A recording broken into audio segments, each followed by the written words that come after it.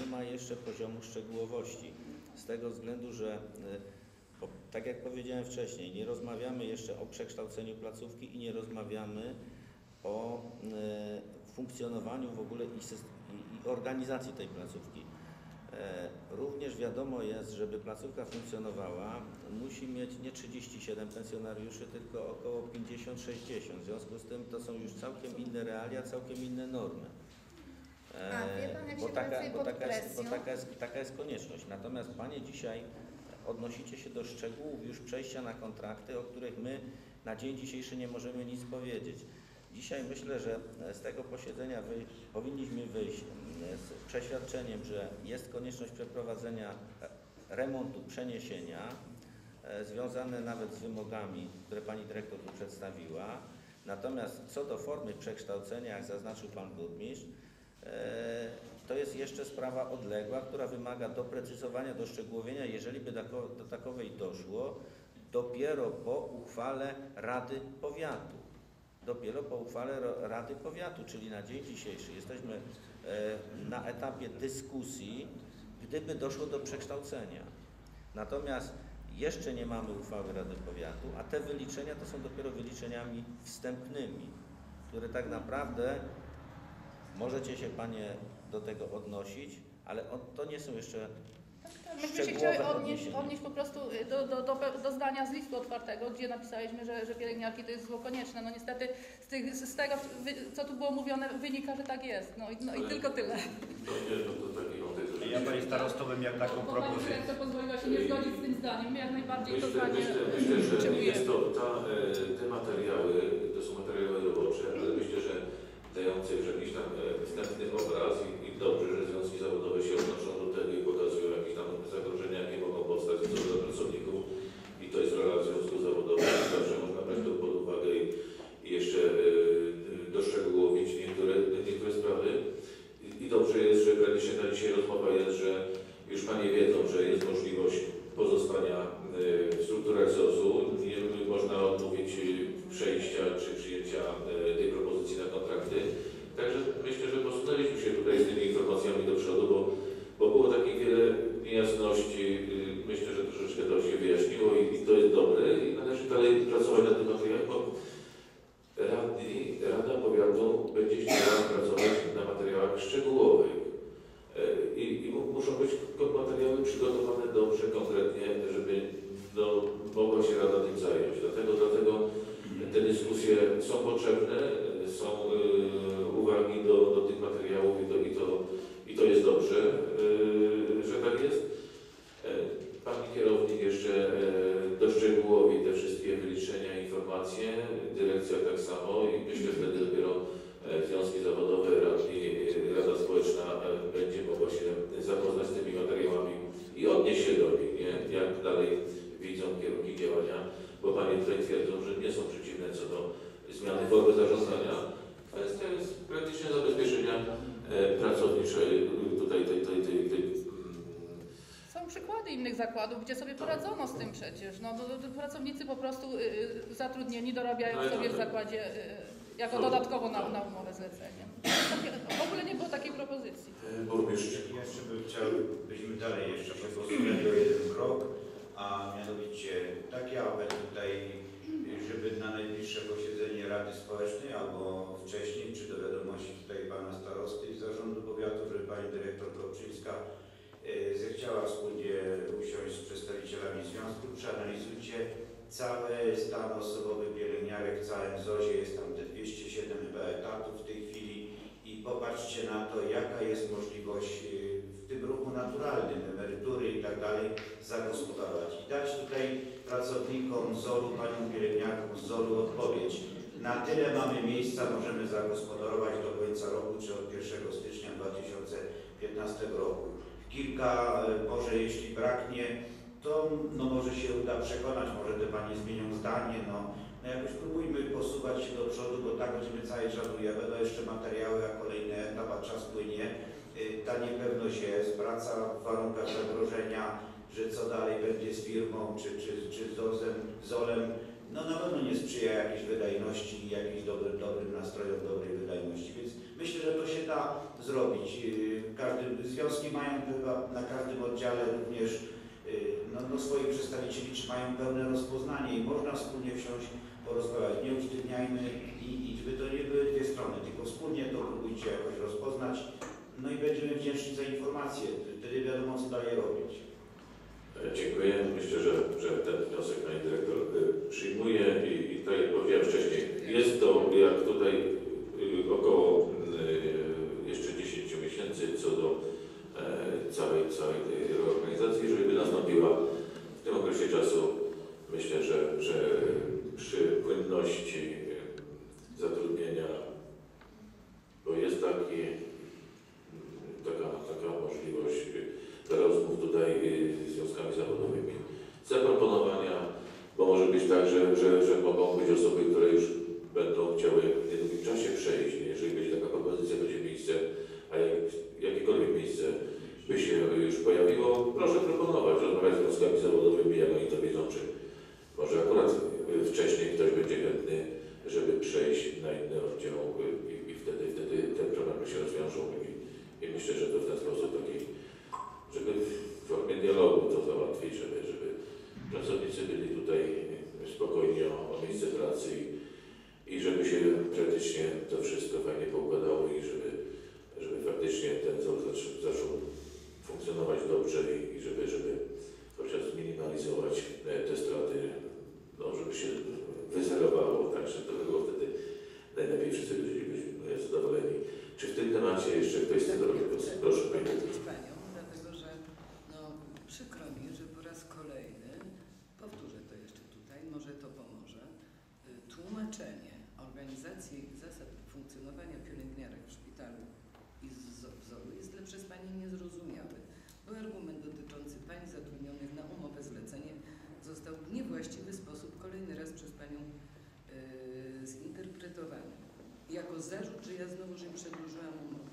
Proszę Pani, pierwsza rzecz to w sprawie ZOL termin przejścia padł dopiero teraz, że będzie to ewentualnie 1 styczeń za rok. To jest jedna rzecz. Druga rzecz, została zmieniona organizacja pracy, gdzie są przydzielone normy minimalne każdego oddziału zatrudnionych, rezerwy urlopowe, chorobowe zostały przeniesione do dyspozycji pielęgniarki naczelnej. I właśnie dlatego tam są Panie na umowie zlecenie, bo jest to łatwiejsze jak gdyby do rozwiązania, po to, żeby w tym momencie, jak będzie potrzeba, można było uzupełniać kadrę. Największa rotacja jest zawsze w najliczniejszej grupie zawodowej. Taką najliczniejszą grupę stanowią pielęgniarki. Są przejścia na emeryturę, one zostały już wkalkulowane w restrukturyzację zatrudnienia do końca roku 2014, której wyniki Pan Starosta już otrzymał. Czyli te osoby już do redukcji zostały zaplanowane w innych jak gdyby tych komórkach i dotyczyły zatrudnienia w tych komórkach. System jest taki, że przy naczelnej, gdyby Panie dokładnie przeczytały zarządzenie dotyczące wprowadzenia tych grup, to by Panie wiedziały, po co ta grupa powstała i na jakiej zasadzie. Panie zatrudnione na umowie zlecenie są dyspozycyjne, pracują większą ilość godzin, tym samym więcej zarabiają, ale pozwalają nam na błyskawiczną reakcję przy zachorowaniu nagłym gdzieś pielęgniarki. Coś, czego tylko przy etatowym zatrudnieniu robić nie możemy. Ale po to jest ta rezerwa, żeby można było właśnie rotować ten personel. I y, wiedziały o tym Panie, dlatego nie wiem, dlaczego kolejny raz jest zarzut powtarzany, a ja wyjaśnię, że to jest grupa szybkiego reagowania naczelnej pielęgniarki. I tam są Panie na umowie zlecenie. Więc ja miałam teraz już Panie zabrać do tej ekipy ruchomej. Jeżeli Panie taką deklarację, warunek, pracownicy ZOL-u mają już taką możliwość, że zgłaszają swoją chęć do Pani Naczelnej, że chcą przejść do grupy interwencyjnej. To oznacza dyspozycyjność do każdego z oddziałów, gdzie wystąpią braki. Więc żeby to też było jasne i nie budziło potem wątpliwości. Pani dyrektor konsultowała z prawnikiem te zasady, y, y, które były wprowadzone y, zarządzeniem odnośnie tych norm. O, te oszczędności, które tam są wykazane, niestety oszczędności na urlopie, na urlopie macierzyńskim czy na urlopie wychowawczym czy bezpłatnym są żadne w- rubrykach, w których są umieszczone te osoby. To jest jedna sprawa. Druga sprawa, kwestia roznoszenia zakażeń wewnątrzszpitalnych. Jeżeli by pracownik na umowę y, zlecenie pracuje na oddziale zakaźnym, na drugi dzień idzie na zakład opiekuńczo-leczniczy, To się wymyje. y, Chciałabym, żebyśmy w tym stylu jednak dalej Jeżeli tak będzie rozmawiali, bo to jest bez sensu. My w tej chwili odesłałyśmy to zarządzenie do naszego prawnika i nie, nie, mogę się, nie mam jeszcze odpowiedzi, więc nie będę odnosić. Myślę, że, że, że, że tutaj trzeba się Trzeba spotkać kwestie. ze związkami zawodowymi i te tematy powyjaśniać sobie co do e, co tych szczegółowych tych rozwiązań, bo, bo myślę, że, że, że w tej chwili tego nie, nie ustalimy, nie? czy to jest zgodne z prawem, czy nie z prawem, czy jakie są z tego tytułu oszczędności, bo to już jest inny temat, bo byliśmy przygotowani w innym temacie. Myślę, że temat, temat jest otwarty i należy e, wrócić do niego. Ale tak jak Pani stwierdziła, że, że jeszcze opinii nie macie, jeszcze nie macie stanowiska Tak, co do tego tematu, to myślę, że żebyśmy to odłożyli do następnego spotkania y, odnośnie, odnośnie, przy następnym spotkaniu byśmy ten temat y, poruszyli, dobrze? Jest taka zgoda? Dobrze, dobrze. Dobrze, dziękuję. Czy jeszcze w tym temacie, co, co tutaj rozmawialiśmy, czy są jakieś jeszcze głosy? Jeżeli nie ma, to dziękuję serdecznie za przybycie. Dziękuję dyrekcji, dziękuję kierownictwu ZOL-u, dziękuję związkom zawodowym, e, samorządowcom, e, członkom Rady e, Społecznej. e, Niewielu ich przybyło, bo przybył e, pan Bolesław Łączyński, e, przybyli członkowie zarządu, Marian Gajda, e, Marek Kopnia. E, Członkiem zarządu jest też burmistrz Dąbrowy Tarnowskiej i jest też pewnie przedstawiciel Olesna. Dziękuję e, wójtom e, za to, że wzięli udział e, w dzisiejszym spotkaniu. Myślę, że temat bardzo ważny i nurtujący nas. E, Myślę, że troszeczkę sprawę byśmy wyjaśnili. E, Mamy już tą, tą informację, że możemy w jakiś sposób przymierzać się co do remontu Zolu. Także serdecznie dziękuję. Dziękuję też dziękuję ratownikom, że wzięli udział, ale widzę, że ci zgłaszają, że mają swój, swój problem, tak?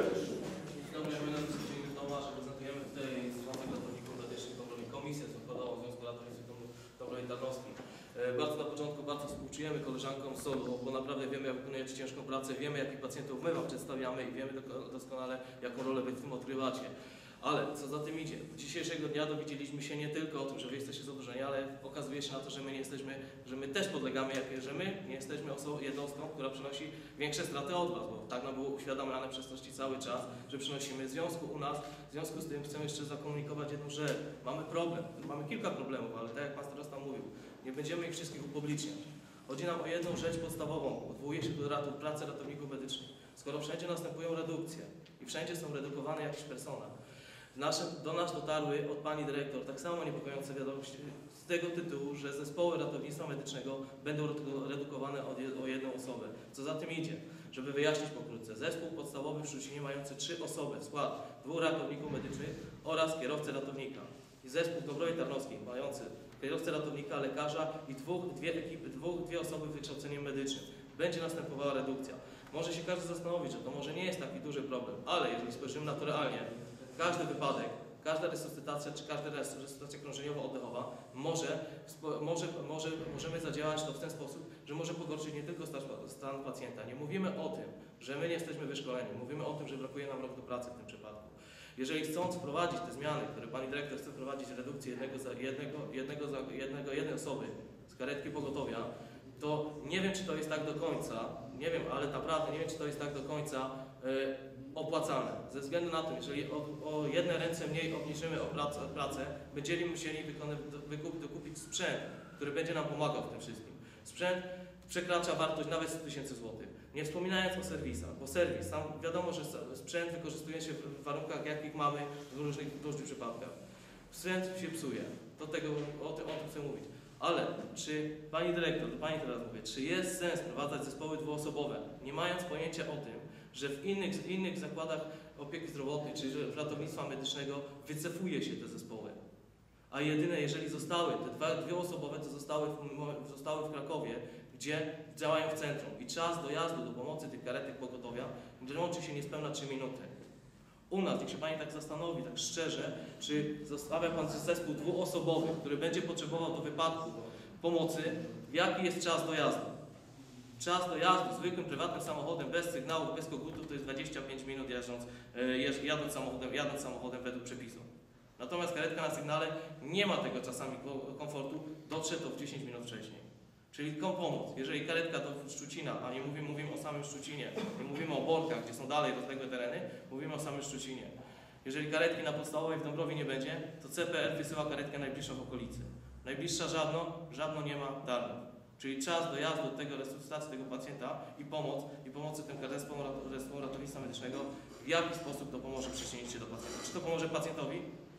Czy to, a wiemy doskonale, jaką rolę odgrywają w tej chwili, w tej chwili odgrywają, yy, w tej chwili odgrywają pacjent, pacjent ma swoje prawa i może wykorzystać i może to określić i opisać. Kto wtedy za to poniesie winę? Czy zespół ratownictwa medycznego?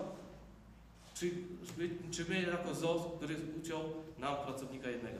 Czyli teraz się trzeba zastanowić, bo o tym momencie rozmawialiśmy z panem starostą kilkakrotnie, z panią rozmawialiśmy, trzeba się zastanowić, czy jest taki sens wprowadzania te zespoły dwu- dwuosobowe. Bo co za tym idzie? Pani wprowadza zespół podstawowy, pani kasuje zespół e, specjalistyczny, obcina pani jeszcze zespoły transportowe. Dlatego tak się zastanawiam, czy to jest wreszcie ważny problem. Mówię tutaj za ratowników medycznych, nie, nie przerywając e, tą naradę odnośnie ZOL, bardzo przepraszamy za to wszystko, ale ten problem też trzeba poruszyć. No no, dlatego, dlatego e, wszyscy zostali poproszeni, dlatego pytałem się, czy kto, kto chce jeszcze zabrać głos. Dziękuję za, za ten głos. E, proszę Panią Dyrektor, e, czy Pani Dyrektor w tej chwili się odniesie do tego? Oczywiście, tak. Proszę. Na ten temat właśnie rozmawiałam z panem przewodniczącym Związków Zawodowych kilka dni temu.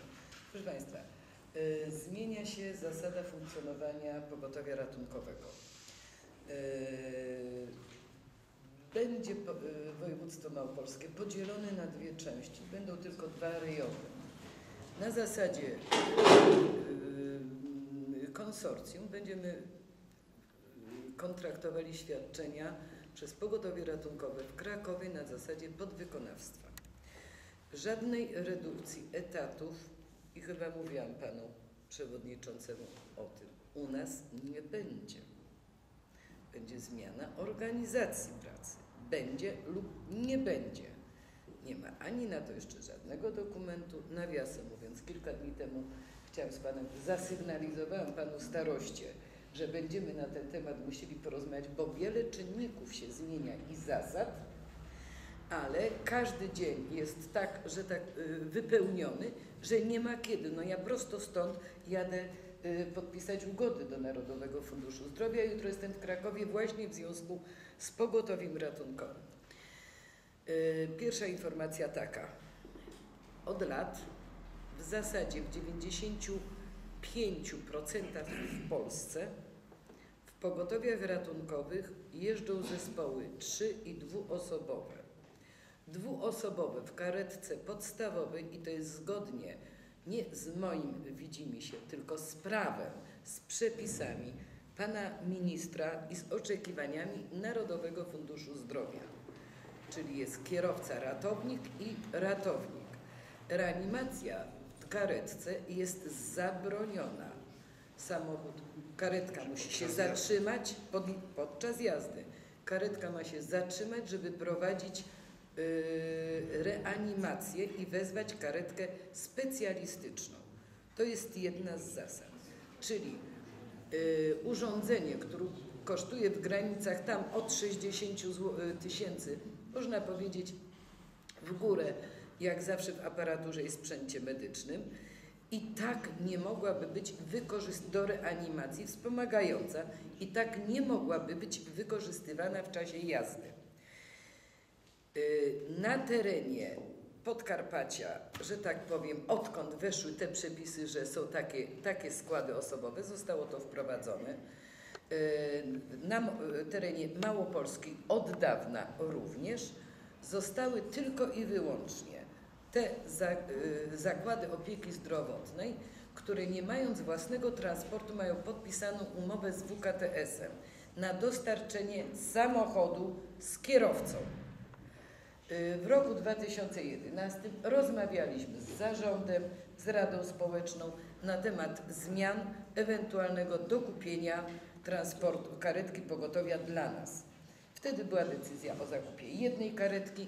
W związku z tym, że nie nastąpiły zmiany organizacji zasad wyjazdów pogotowia ratunkowego, y, ta karetka stała się karetką transportową dla szpitala z naszą własną obsadą, a nadal z WKTS-em kontraktujemy karetki pogotowia wraz z kierowcą. Y, Nie wiem skąd Pan taką wiarygodną informację, bo chyba nie ode mnie, powziął, że Wy jeszcze bardziej niż zadłużacie ten zakład.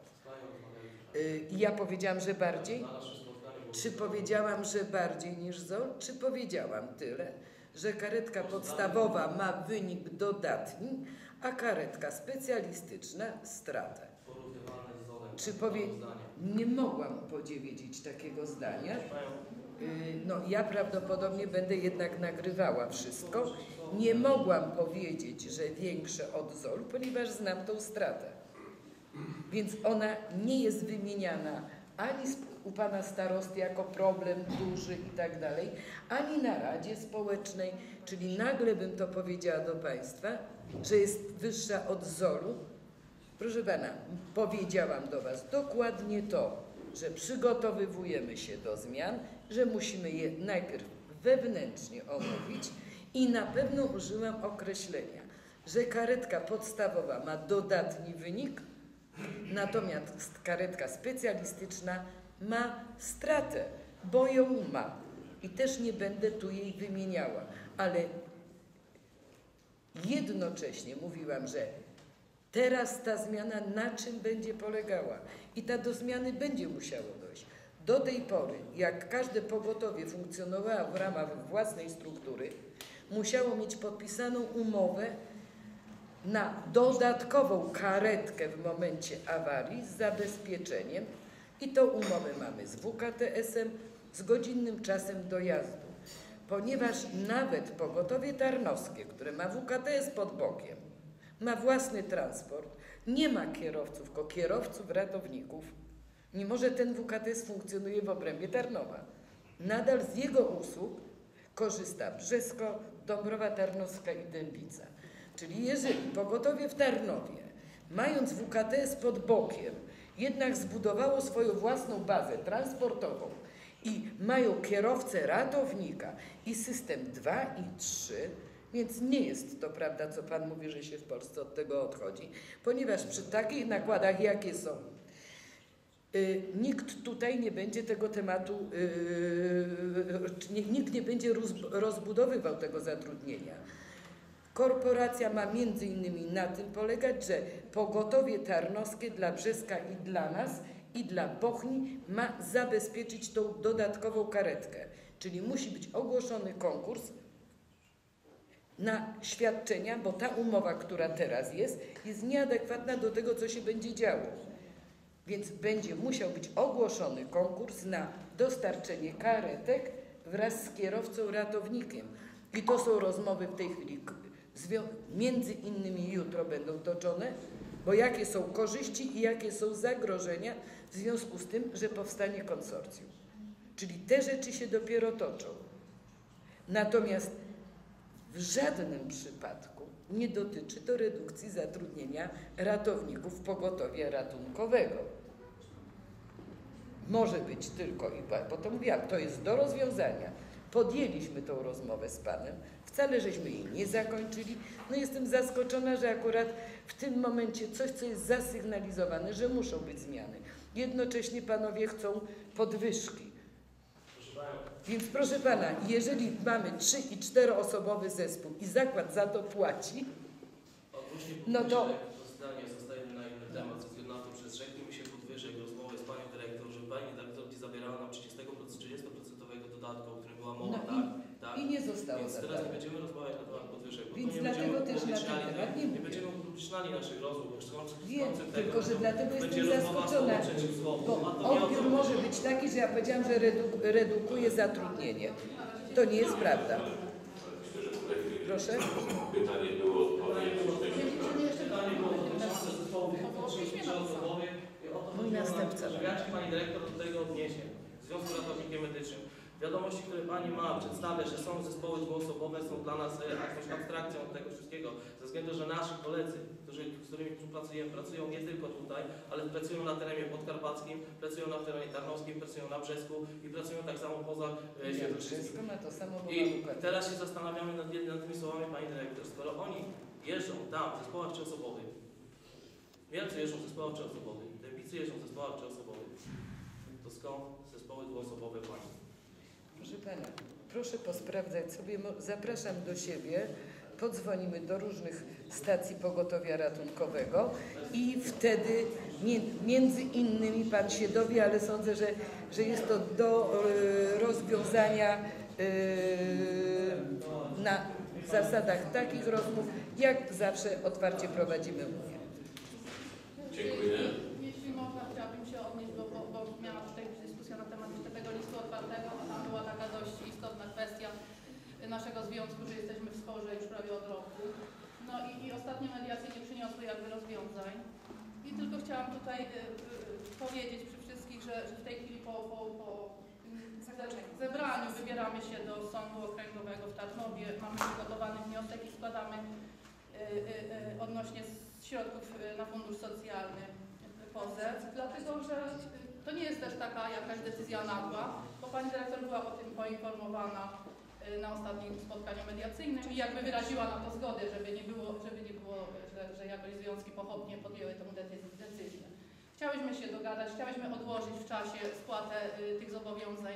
Niestety nie było żadnej y, woli dogadania się w tym temacie, dlatego Dlatego no, no, liczyłyśmy na- to spotkanie, że ktoś wyjdzie z jakąś y, decyzją, z jakąś pomocą, z jakąś propozycją jednak rozwiązania y, problemu dotyczącego pielęgniarek ogólnie i, i zarobków, gdzie, gdzie faktycznie są pielęgniarki, którym się do y, minimalnej płacy dopłaca i, i, i w tym temacie wcześniej y, członkowie Rady przyznali rację, że mamy rację.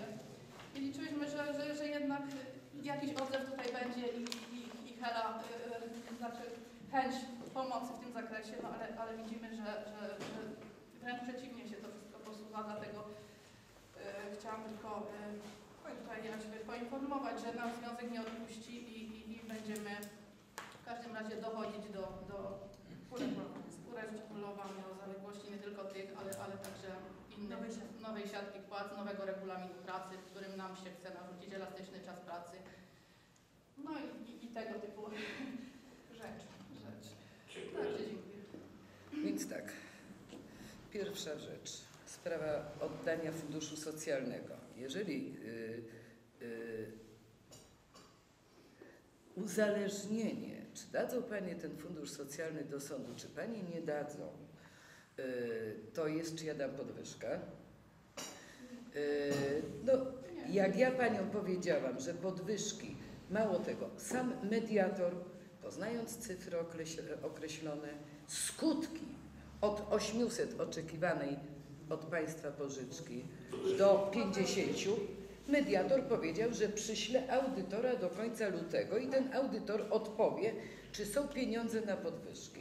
Do dnia dzisiejszego taki audytor się u nas nie zgłosił. To jest raz. Czyli to jest w kwestii podwyżek. Ja po raz pierwszy mogłam przedstawić na zarządzie wynik finansowy na ten rok z bieżącej działalności z tak zwanym y, wachlarzem bezpieczeństwa finansowego na plusie. Zielone światełko w tunelu dla tego zakładu jest absolutna dyscyplina finansowa i nienaruszenie tego przy jednoczesnym kredycie konsolidacyjnym, dzięki któremu zakład może odzyskać płynność finansową, a to jest teraz najważniejsze. Sposób odpowiedzialny Paniom powiedziałam, że ten plan jest przygotowany o najgorszą wersję przychodów, czyli już nam dziś znaną. Nie pokazujemy nie wiadomo jakiego wzrostu przychodów na przyszłość, wobec których można się ustosunkować, czy jest miejsce na podwyżki, czy nie. Byłabym osobą nieodpowiedzialną, Gdybym w takiej sytuacji Panią gwarantowała podwyżkę, Panie oczekiwały konkretnego terminu. Ja mówiłam, jak się zmieni sytuacja, będziemy rozmawiać, nie? Jutro, za miesiąc, za pół roku. Nie mogę, bo to jest, byłoby nieodpowiedzialne. Wtedy powiedziałam i powtarzam w tej chwili. Byłoby to nieodpowiedzialne. Po pierwszym półroczu też to Panią powiedziałam, dopiero poznamy koszty zmiany zasad organizacji udzielania świadczeń przeniesionych z oddziału do ambulatorium. Wtedy można rozmawiać, jak będą wyglądały koszty, bo ich nikt nie zna. To jest raz. Dwa, jeżeli chodzi o fundusz socjalny. Yy, Panie yy, zgłosiły do inspekcji pracy yy, zaległości w funduszu socjalnym. Jeszcze kilka uwag. Była kontrola Państwowej Inspekcji Pracy dotycząca funduszu. A czemuż to ja nie wpłaciłam pieniędzy na fundusz? Nie ze swojej złej woli, tylko dlatego, że miałam tylko i wyłącznie trudne wybory. Podjęłam najtrudniejszy wybór, ponieważ uderza mnie po kieszeni, bez względu na to, czy pani mnie dadzą do czy nie. Proszę pani, pracowników nie, bo to nie pani zapłaci kary, tylko ja. Nie mam środków, żeby w sklepie zapłacić, bo jak wezmę 1400 zł wypłaty... W związku z tym, że ponad 550 tysięcy jako jednorazowa dopłata do podwyżki z roku 2012 poszło gotówki do pracowników jako jednorazowe wyrównanie, to nam w gotówce zabrakło tych 550 tysięcy. I moje wybory dotyczyły, czy zapłacę za leki, za środki opatrunkowe, czy wpłacę na fundusz socjalny. Jeżeli bym nie zapłaciła za leki, jeżeli bym nie zapłaciła za środki opatrunkowe, to wstrzymane byłyby dostawy, życie i zdrowie pacjenta byłoby zagrożone, a najpierw to za to odpowiadam. Najpierw za to. Czyli świadomie za pieniądze, które były tak zwana gotówka, płaciłam zobowiązania tylko i wyłącznie za te artykuły, które są dla pacjenta za ratowanie życia i zdrowia, a nie zapłaciłam za fundusz socjalny, nie wpłaciłam gotówki na fundusz socjalny, świadomie narażając się na to, że do 5 tysięcy złotych z własnych, moich pieniędzy prywatnych zapłacę karę.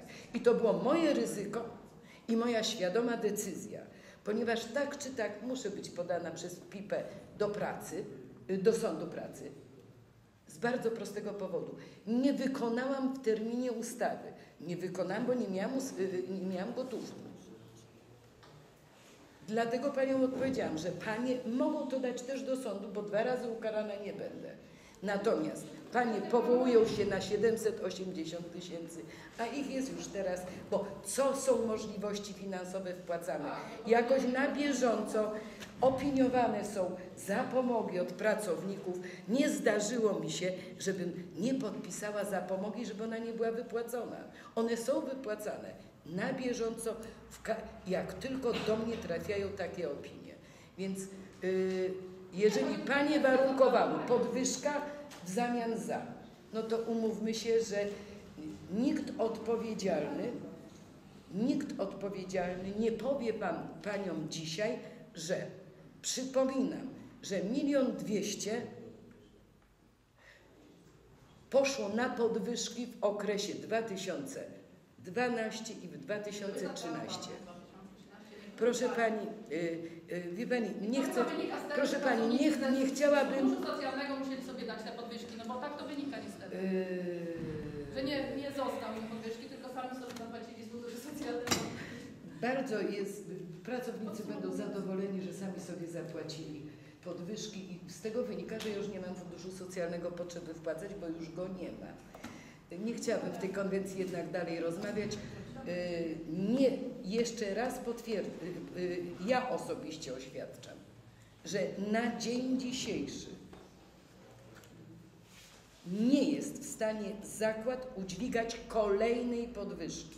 I przypominam, że mnie podlega ileś grup zawodowych. Te grupy zawodowe podlegają różnym związkom zawodowym. I jeżeli W roku 2012 podwyżkę dostały zgodnie z ustawą pielęgniarki w wysokości 70% z 40 z nadwyżki. To wtedy do tej grupy dołączyłam ratowników medycznych, analityków, rehabilitantów yy, z RTG, techników, ponieważ oni od lat nie dostali. A pozostałe grupy zawodowe dostały po, y, pozostałe grupy zawodowe dostały 20 zł podwyżki średnio miesięcznie przy 120 dla grupy pielęgniarek. Ten zakład w 2010 roku też dał podwyżkę, czyli jak gdyby w ciągu dwóch lat też w wysokości 100 zł czy 120 i przy zmniejszonym kontrakcie szpital nie jest w stanie podźwigać więcej, a dyrektor ma być sprawiedliwy dla wszystkich No właśnie, pracowników. czy pani dyrektor może na to pytanie odpowiedzieć? Czy nie było które? wzrostu na kontrakty lekarskie? No bo jeżeli Jeż, proszę Pani, no jeżeli zostaje uruchomiona, jeżeli zostaje uruchomiona nowa działalność,